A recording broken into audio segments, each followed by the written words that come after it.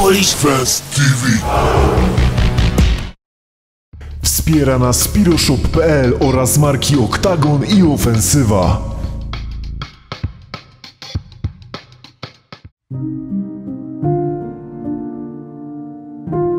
Jak już informowaliśmy na łamach naszego kanału tuż przed Wigilią Bożego Narodzenia 21 grudnia 2022 roku kibicowska społeczność straciła legendarnego fanatyka Arki Gdynia Zbigniewa Rybaka.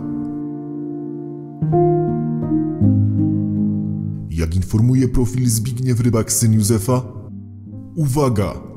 Ostatnie pożegnanie Zbigniewa Rybaka odbędzie się w najbliższą sobotę 31 grudnia 2022 roku na Narodowym Stadionie Rugby w Gdyni. Uroczystości pogrzebowe rozpoczną się o godzinie 10, następnie ulicami miasta przejdziemy na cmentarz Witomiński. Wszystkie osoby chcące uczestniczyć w uroczystości prosimy o zajmowanie miejsc na trybunach. W imieniu rodziny prosimy o nieprzynoszenie kwiatów oraz zniczy. Podczas ceremonii zbierane będą fundusze na wsparcie hospicjum.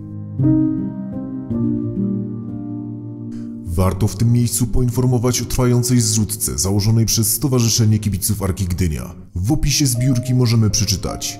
W imieniu kibiców Arki i przyjaciół Zbyszka szykujemy godne pożegnanie, ostatnią oprawę, a zarazem odprawę wielkiego arkowca, sportowca wikinga. Niewykorzystane środki zostaną przekazane na pomnik, mural, flagę, a pozostała kwota przekazana dla syna Zbyszka. Dziękujemy za wyrazy wsparcia dla naszej społeczności napływające z całej Polski. Jako cel zrzutki została ustalona kwota 40 tysięcy złotych, która w momencie publikacji tego filmu została już przekroczona. Jednak zachęcamy do dalszego wsparcia.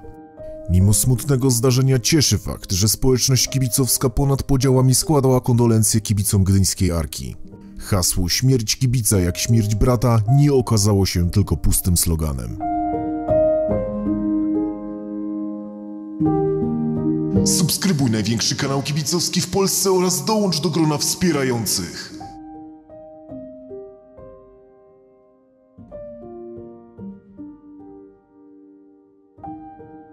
Zapraszamy na zakupy w piroshop.pl z kodem PolishFansTV 5% rabatu.